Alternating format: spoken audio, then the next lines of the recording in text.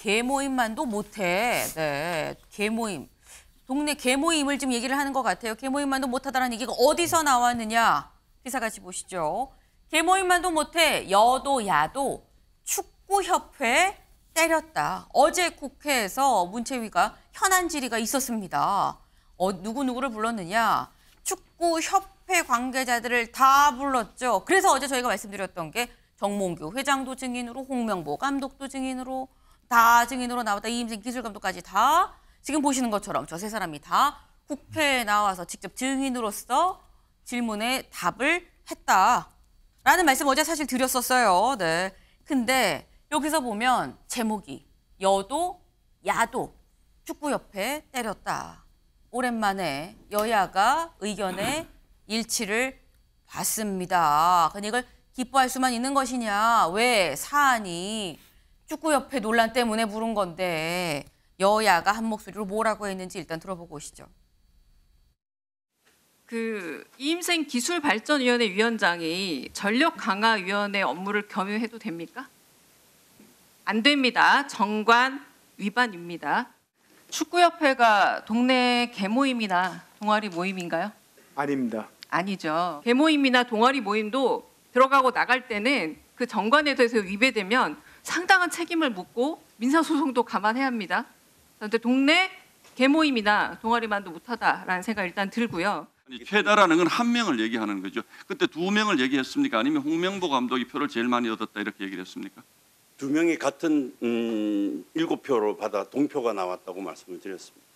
그런데 왜 그때는 홍명보 감독이 어, 최다 투표다 그리고 어, 도문지 저는 사실 납 득이 되지 않습니다. 이거는 홍 감독을 염두에 두고 한 과정이 아니라면 이렇게 할 수는 없는 거 아닌가요? 네, 지금 저희가 강유정 의원, 신동우 의원 얘기를 뭐 일단 뭐 대표적으로 한 사람씩만 일단 들어봤습니다. 근데 딱 보면은 이 느낌이 아마 오실 거예요. 어제 분위기가 그냥 축구협회 가운데 있고 계속 혼났다라는 요 느낌이었습니다. 여야 없이 네, 축구협회를 때렸다라고 했는데 지금 보면 뭐 축구협회 문제가 있다는 데는 이론의 여지가 없는 것 같아요. 여야가 한 목소리로. 여기에 대해서 뭐라고 답을 했느냐가 사실 관건이겠죠. 다음 기사 볼까요? 축협 개모임보다 못해 질타에 정몽규 위법 없다 반박입니다. 반박 목소리도 들어보고 얘기 이어가시죠. 그럼 우리 정몽규 증인은 이런 감독 선임 절차에 관한 국민적 의혹이 그냥 의혹에 불구하고 전혀 하자가 없다 이런 주장이십니까? 저는 그렇게 생각하고 있습니다. 1순위로 올려놨기 때문에 제가 감독직을 받은 거였습니다. 제가 혹시라도 2위라든지 3위라든지 했으면은 저는 받지 않았겠죠. 그러니까 지금 객관적인 생각을 여쭤보고 있지 예, 않겠습니까? 제 객관적인 생각은 네. 저도 이거를 한번 해봤는데 네. 저한테 뭔가 특혜가 있다라거나 생각하지는 않습니다. 네, 지금 정몽규 회장 우리 법적으로 문제가 있는 게 없어 절차대로 했다. 홍명보 감독도 내가 1위로 나왔다고 해서 받았지 내가 2위랑 3위 나왔다고 했는데 받았겠느냐. 1위라고 하니까 나도 감독직을 승낙을 한 거다라고 지금 얘기를 합니다. 둘 다 문제가 없었다는 거예요. 이 상황을 그럼 어떻게 해석을 해야 되느냐, 최수영 의원님. 네. 아니 그러니까 국민이 묻잖아요. 그러니까 왜 당신이 그 그 저 감독을 맡았느냐를 묻는데 얘가 1위 했으니까 그 감독을 맡았다. 네. 그러니까 어떻게 1위가 됐냐를 묻는데 그 대답은 안 해요. 음. 어떻게 우리가 묻는 거는 어떻게 어떤 과정을 거쳐서 당신이 1위로 됐느냐 하는데 음. 홍 감독도 그렇고 뭐 많은 그 관계자들은 아니 1위 했으니까 내가 받은 거고 1위 될 만하니까 1위 된 거예요라고 하잖아요. 이게 바로 개모임이죠. 그러니까 될 만하니까 시켰다. 이 얘기가 지금 21세기 대한민국 축구협회 현 주소 맞습니까? 우리가 지금 묻고 있는 거는 공정했느냐, 객관적이었느냐, 투명했느냐, 그래서 우리가 동의할 수 있느냐 이 네 가지를 묻는 건데 그냥 됐으니까 했습니다. 그리고 더 더 나아간 건 홍 감독이 그랬어요. 저 사명감하고 책임감 때문에 이거 받은 거지 다른 생각 없었습니다. 내가 10년 전으로 되돌아가서 갑자기 그 사명감이 되살아나더라고요. 그래서 제가 이걸 받았습니다. 누가 납득하겠습니까? 누가 묻는 건 그겁니다. 우리 엘리트 축구가 엘리트 우리 협 체육이 짬짬이로 이게 이루어진 것은 아닌가 국민이 묻고 있는 거예요. 그 대답을 해야죠. 근데 짬짬이는 없었다고 얘기하는데 아무런 객관적 입증을 하지 못합니다. 저는 그래서 22일 날 다시 정몽규 회장이 국정감사의 증인으로 채택됐다 하더라고요. 음. 저는 그래서 다시 국회의원들이 불렀다고 봅니다. 네. 지금 이게 우리 축구의 현 주소 아니겠느냐. 지금 뭐 짬짬이 얘기까지도 지금 나왔어요. 그러니까 1위를 했는데 이 축구 감독이 됐다. 이걸 물어보는 게 아니다. 왜 어떤 과정으로 어떻게 1위에 된 것이냐. 이 부분 지금 잘 납득이 안 간다. 그래서 불러서 물어봤다라는 건 거죠. 이, 거, 이 그런 말씀인 거거든요. 근데 지금 당사자들은 문제 없습니다. 법적 절차 다 지켰고요. 내가 1위에서 순리에 맞게 내가 한 거예요라고 지금 얘기를 하고 있죠. 근데 둘 다 문제는 없다고 얘기를 하는데 박수현 의원은 어제 이걸 지적을 했어요. 들어보실까요? 이임생 기술 기술 총괄 이사 가 감독 자택으로 찾아가서 한국 축구 기술 철학 등을 설명하며 감독직을 맡아달라고 거의 부탁을 한 그런 면접이었다 이렇게 지금 알려져 있습니다. 저는 이것은 홍명보 감독을 의중에 두고 형식적인 면접을 한 것이 아니냐. 그러니까 또 이임생 기술 이사는 거의 밤 11시에 자택 앞에 있는 카페에 찾아가서 그렇게 특혜로 보이는 이런 면접을 해도 되는 것입니까? 네. 지금 박수현 의원의 얘기를 들어보면 이임생 기술이사가 밤 11시에 홍명보 감독 집 근처 카페에서 만나서 홍 감독을 면접을 봤다라고 지금 얘기를 한 거예요. 조현선 변호사님. 밤 11시에 카페에서 보는 면접 보셨습니까? 굉장히 생소한 일이죠. 네. 면접은 일단은 면접장이 있어야 되지 않겠습니까? 면접위원들 앞에서 면접을 봐야겠죠. 그 무엇보다도 중요한 대한 우리나라 축구 대표팀 감독을 선임하는 절차입니다. 그렇다고 한다면 면접 절차를 소홀히 할 수가 없겠죠. 단지 두 명, 두 분이 만나서 얘기하는 게 면접이 끝이 아닙니다. 여러 면접위원들이 함께 살펴봐야 될 부분이 분명히 있다고 할, 거- 할 것이고요. 저는 이임생 이사가 과연 전권을 가지고 할 수 있는 위치에 있었나? 라는 것부터 한번 짚어봐야 되지 않을까 싶고요. 음. 그리고 과연 이 면접, 걸- 면접 절차를 생략한 것이 네. 과연 정관에 위배되는 부분이 아닌가라는 부분도 다시 한번 살펴봐야 되지 않을까 싶습니다. 여기에 대해서 국민이 묻고 있고 국회의원들이 질문을 하고 있는 건데요. 네. 지금 대한축구협회는 이, 2022년 기준으로 봤을 때 음. 전체 예산의 한 47%를 정부가 지원을 하고 있다고 합니다. 정부 보조금이 어, 300억이 넘고요. 그다음에 어. 스포츠 토토 목표 수익금이 네. 200억이 넘는 그런 단체입니다. 네. 그 정도로 많은 지원금이 들어가고 있는 단체다 보니까 음. 당연히 이와 같은 각종 의혹에 대해서 성실하게 소명할 의무가 있다고 할 수 있겠죠. 네.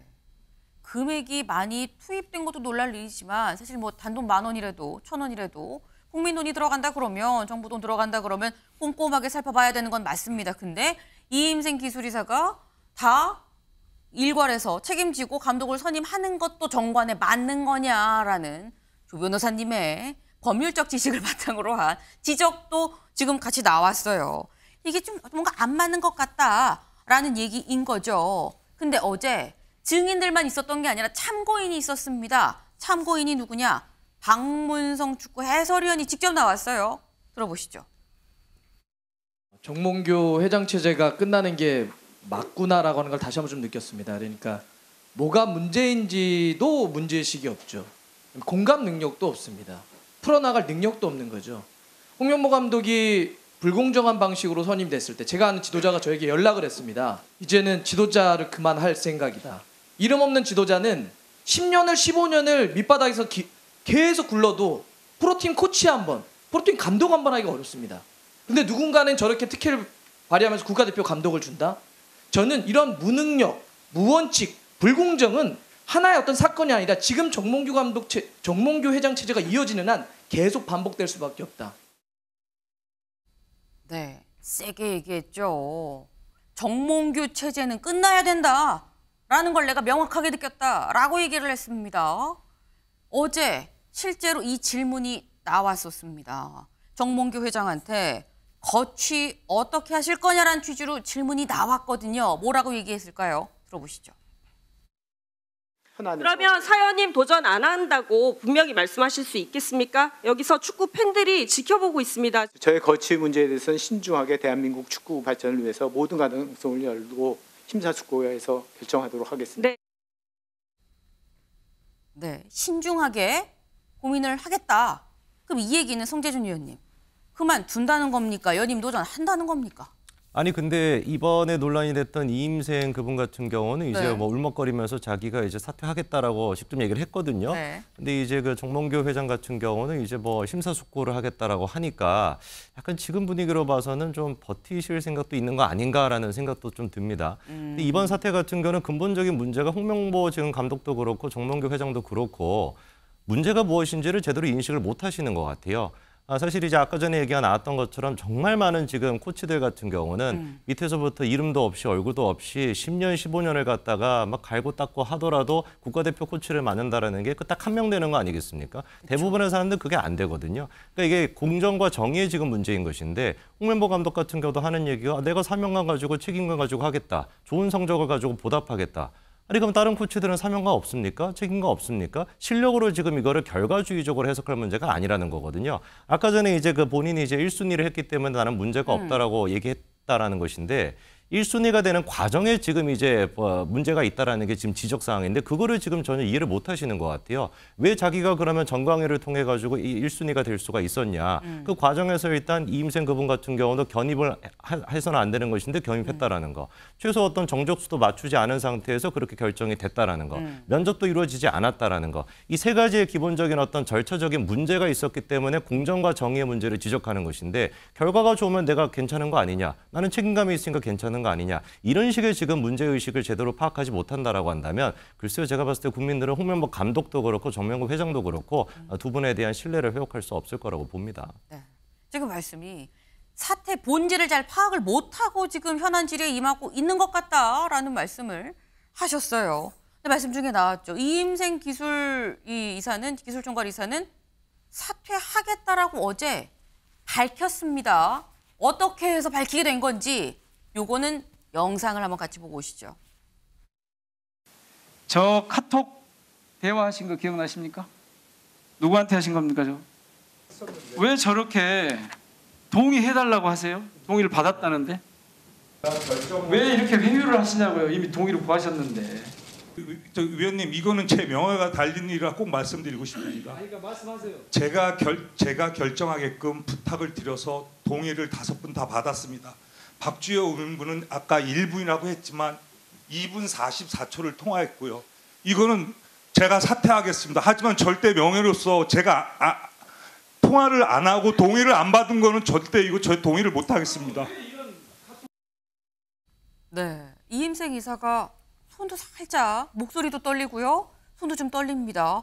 근데 지금 민형배 의원이 아니 전략강화위원들한테 다 이걸 위임을 받고 동의를 받아서 그래서 감독을 이렇게 선임을 한 거냐. 근데 위임을 받았다 그러면 왜 자꾸 카톡이랑 이런 내용으로 해서 동의 동의하는 거죠. 동의해 주세요라고 얘기를 왜 왜 한 거냐. 이미 동의를 받았다면은 지금 그 얘기를 한 거예요. 그러니까 울먹울먹하면서 이건 내 명예가 달린 일이라서 명확하게 얘기를 하는데 난 정말 동의 확실하게 받았다. 내가 내 명예가 달린 일이라 사퇴하겠다라고도 얘기를 했습니다. 근데 이 부분이 윤경호 위원님.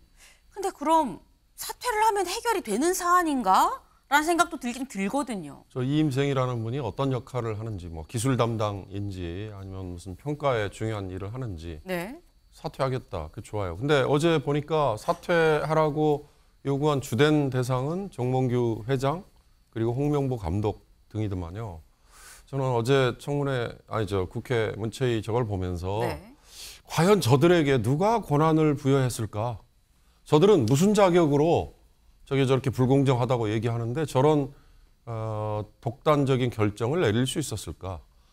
어, 어제 저런 공식적인 자리 말고요 시중에서 술 마시면서 했던 얘기 중에는 뭐 특정한 학교에 학연이 작동을 해서 이렇게 됐어 라는 얘기가 처음에는 많이 돌았잖아요. 그 얘기가 어저께 에, 문체위에서 얼마나 다뤄졌는지 전 잘 모르겠어요. 결론적으로는 축구라는 게 굉장한 인기 스포츠 아니에요. 그러면 축구 선수가 당연히 주된 역할을 해야 될 거고 네. 그 선수를 선발하는데 뭔가 권한을 갖고 영향력을 행사하는 뭐 평가위원 그리고 축구 협회 더 중요한 건요. 축구를 좋아하는 분들이 이걸 외면해 버리면 안 되잖아요. 삼박자 사박자가 같이 가져야 되잖아요. 그런데 네. 그런데 지난번 팔레스타인이라는 어, 그 약체하고 붙었을 때 정몽규 회장 그리고 어, 홍명보 감독이 모습이 비춰지니 쏟아진 야유. 전 그걸 보고 아 저분들은 아무리 공정한 절차를 거쳐서 선임이 됐어도 더 이상 역할을 하면 안 되겠다. 저는 그런 생각이 딱 들었습니다. 네.